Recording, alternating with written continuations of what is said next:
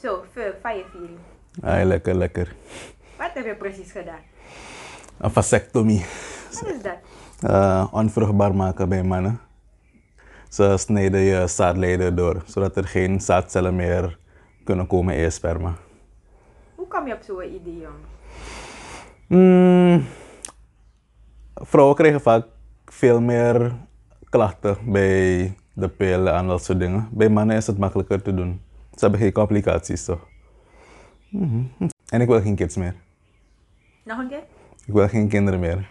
Dit is mijn gezinsplanning. Maximaal twee. Niet door, niet twee. ba. Dus nu is het om te genieten van het leven. Hoe gaat het nu met je herstel? Ja, go. Herstel is niet moeilijk, ik moet gewoon rusten. ik mag gewoon niet te veel lopen naar de zand voor een paar dagen.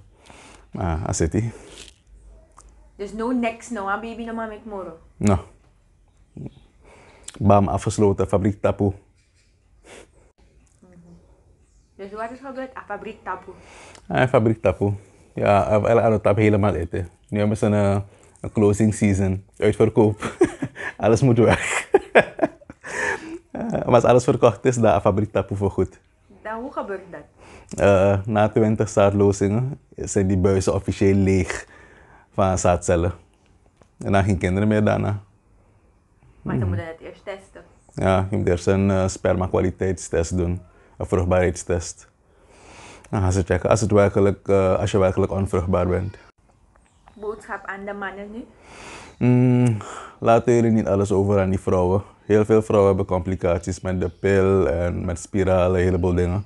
Omdat een heleboel hormonen in je lichaam gaan ronddwalen. Bij mannen is het makkelijker. Er zijn geen complicaties hieraan verbonden. Het enige vervelende is dat je moet gaan liggen, zodat die doktoren naar je dingen kijken.